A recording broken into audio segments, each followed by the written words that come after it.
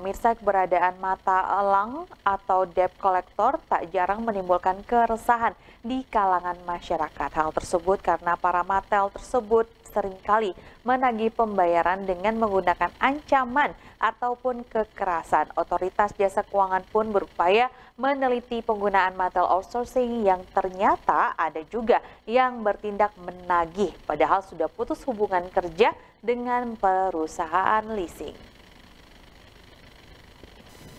Ditemui usai sosialisasi tindak pidana sektor keuangan kepada aparat penegak hukum di Kota Bandung, Kepala Departemen Penyidikan Sektor Jasa Keuangan Tongam El Tobing mengakui saat ini ada saja perusahaan leasing yang menggunakan tenaga outsourcing untuk keperluan penagihan.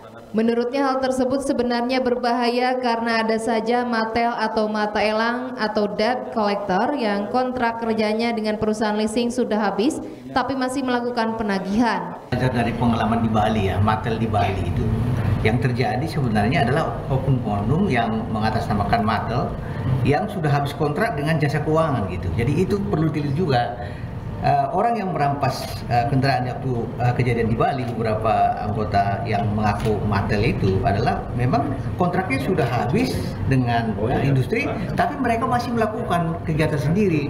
Nah ini juga mungkin banyak seperti itu ya. Oleh karena itu industri itu tidak akan bisa bekerja sama dengan orang seperti ini tidak akan bisa karena mereka pasti hubung, uh, hubungan kerjanya pasti diputus seperti itu.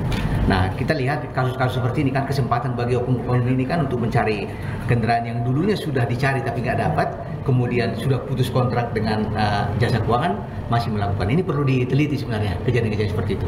Direktur Reserse Kriminal Khusus Polda Jawa Barat Kombes Pol Denny Okvianto pun menyatakan jika Mattel mengancam bahkan melakukan tindak pidana terhadap penunggak cicilan, ada ancaman pidana yang dikenakan seperti pasal 351 dan 170 KUH pidana. Tak hanya Mattel, perusahaan leasing yang menyuruh Mattel tersebut pun akan terkena ancaman pidana. Ya, jadi kalau tindak pidana itu kan ada perbuatan actus hmm. reus sama adanya niat jahat ya mens rea.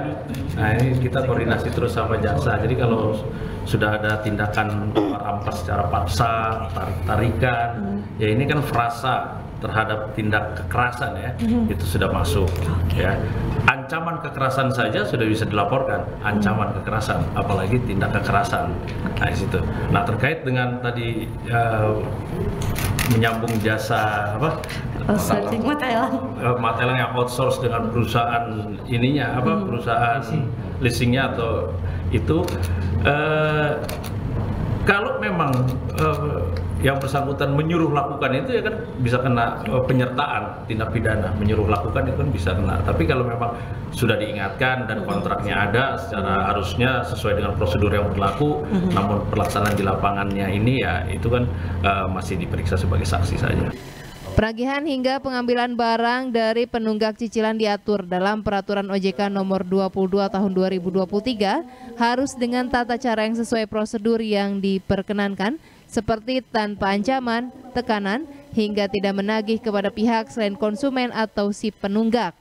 Bahkan dalam peraturan OJK, Matel pun dilarang mempermalukan konsumen. Budi Hartati, Bandung TV.